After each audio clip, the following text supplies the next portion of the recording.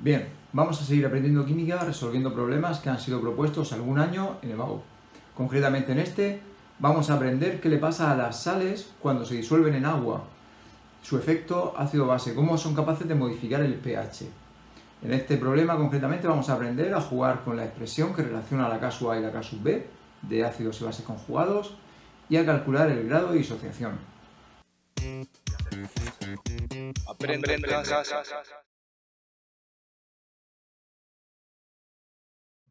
Bien, vamos a realizar este problema de ácido base en el que ahora se nos da una disolución de amoníaco con una concentración inicial de 0,1 molar y se nos pide que hallemos la constante de basicidad.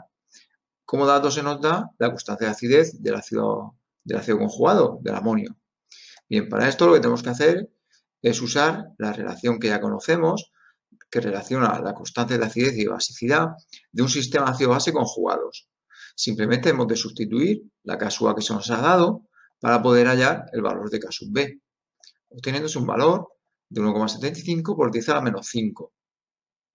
Bien, en el segundo apartado, en el apartado B, se nos pide el grado de disociación del amoníaco. Para ello, lo que tenemos que hacer es escribir el equilibrio de basicidad del amoníaco, que captura un protón del agua para obtener amonio y aniones hidróxido.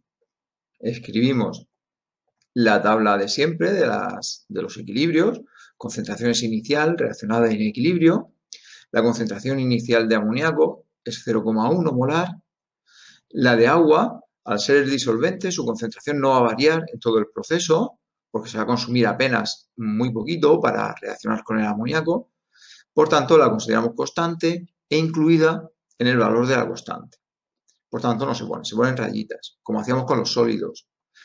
Bien, de producto inicialmente no tenemos nada y una vez que se ha alcanzado el equilibrio habrá descompuesto X moles por litro de amoníaco y habrán aparecido X y X moles por litro de productos por la estequiometría, que es 1 a 1. Bien, en el equilibrio nos va a quedar 0,1 menos X de amoníaco y habrán aparecido X y X de productos. Simplemente ahora hemos de sustituir en la expresión de la K sub B Sustituimos y tenemos esta expresión, esta ecuación de segundo grado, que podemos resolver muy fácil porque podemos asumir que esta x del denominador va a ser mucho menor que el 0,1, por tanto esa diferencia, 0,1 menos x, va a ser prácticamente 0,1.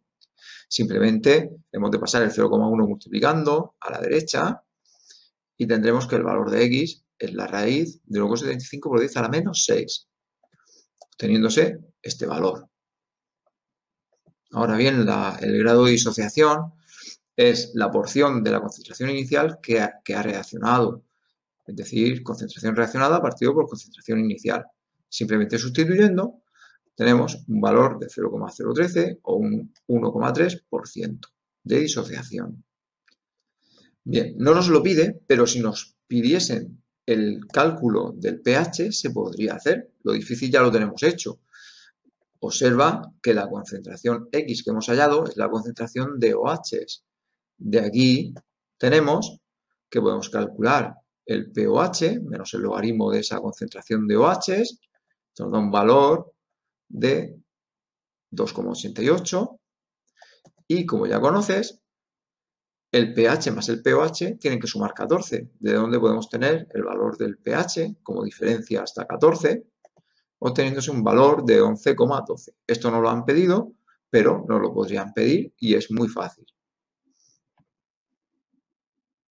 Bueno, espero que hayas entendido este problema y que sigas viendo los siguientes. Venga, mucho ánimo.